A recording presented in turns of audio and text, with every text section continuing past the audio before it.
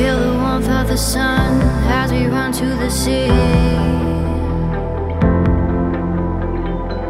In the air that is clear, it's you that I breathe. Hi, I'm Anita Edgar of Ray White Whitsundays in Hamilton Island. I'd like to welcome you to the recently renovated apartment West 3 in the iconic Bella Vista, Hamilton Island.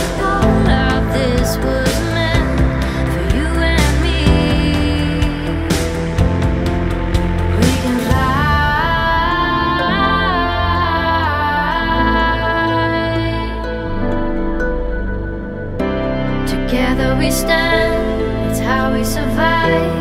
Carry the weight, keep the spirit alive. So don't close your eyes,